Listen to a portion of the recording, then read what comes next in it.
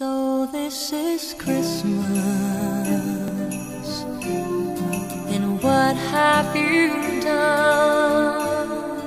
ai Teramani cosa voglio augurare? Innanzitutto vi voglio ringraziare e, sfrutto questa ancora una volta la, la, vostra emittente per ringraziare i Teramani perché mi hanno dato ancora fiducia, la ripagherò con il lavoro, la presenza, la dedizione, l'onestà, la serietà che mi contraddistingue. A voi voglio augurare di trascorrere un Natale sereno, se fosse mai possibile, so che la crisi attanaglia ogni famiglia, è davvero difficile, però diciamo, cerchiamo di recuperare almeno il giorno di Natale quella serenità, quel calore della famiglia e chi non ce l'ha magari lo possa trovare in altre famiglie, credo che questo sia l'augurio eh, più bello che io possa dare.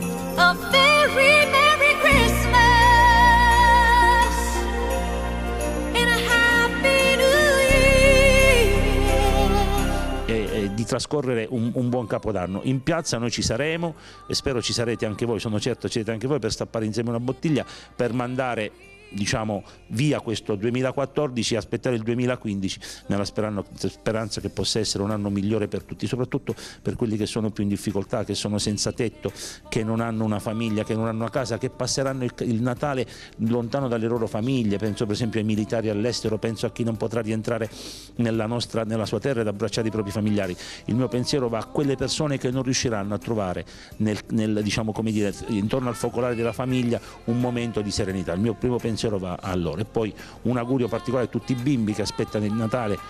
aspettano Babbo Natale che scende diciamo così e che porti i regali se ce ne sarà qualcuno in meno non fa niente l'importante è che qualche regalo arrivi